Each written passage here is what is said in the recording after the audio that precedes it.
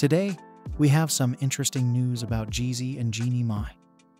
After a long divorce battle, the case has been concluded, and they have reached a settlement. Let's get into the specifics. Jeezy and Jeannie Mai have reached a settlement, so their divorce is officially finalized, albeit they are taking extra precautions to hide the specifics.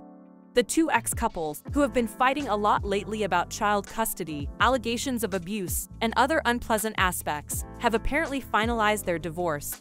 In addition, they have filed to have the entire process sealed off so that the specifics remain private. There has been a great deal of back and forth over the last few months.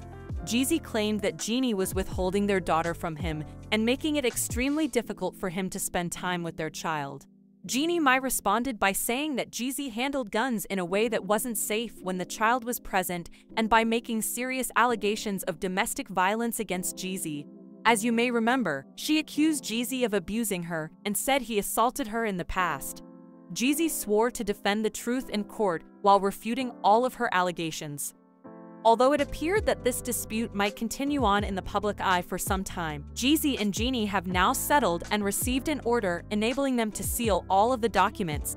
As a result, all the specifics of their settlement, such as any provisions pertaining to property division, spousal support, custody, and or child support, will be kept secret from the general public. Though the story has been dragged out, it is finally done, and they are no longer considered legally married.